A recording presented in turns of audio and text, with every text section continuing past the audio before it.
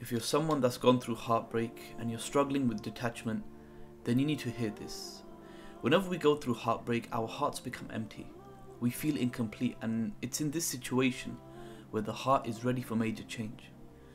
And this is normally the turning point for so many of us to fall in love with Allah and direct our worries and concerns to Him.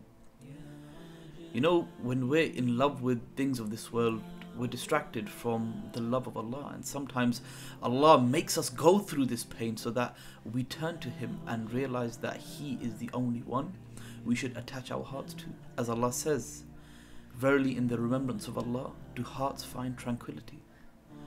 So just know that if you're going through heartbreak, this is now the best time for you to attach your heart to Allah so that you find true peace, tranquility, and comfort.